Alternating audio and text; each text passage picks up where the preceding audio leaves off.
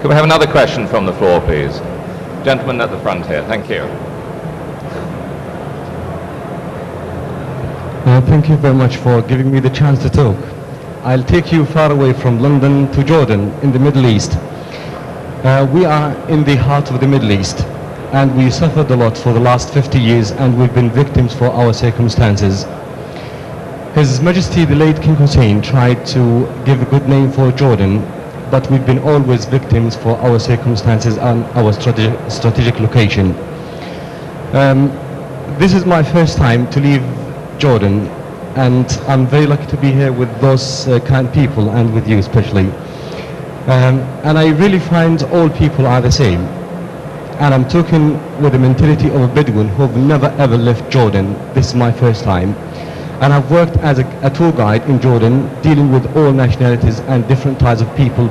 All I find that all people are the same all over the world, but politics are playing with people.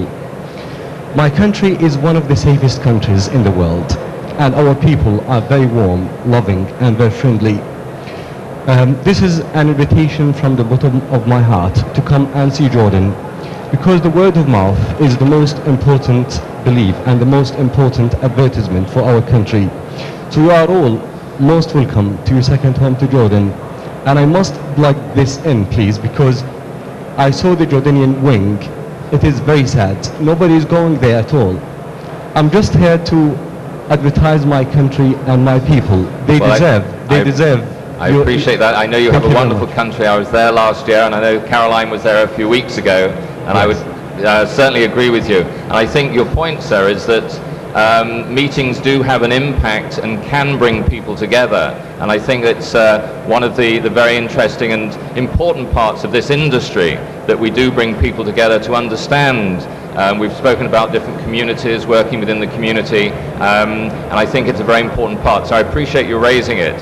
I'm being given the wind-up signal here, ladies and gentlemen. I'm afraid I can't take any more questions, um, but I'd just like to take this opportunity to thank you all very much indeed for coming, for your input and for your questions, and obviously to my panelists, uh, Graham Fraser, Carolyn Dow, Kip Horton, and Ari Arago- Garagosa from Barcelona. Thank you all very much indeed for your time this morning. Thank you. Thank you, Peter. And of course, our very sincere thanks to our able chairman, Mr. Peter Haig. Peter, thank you very much indeed. My love.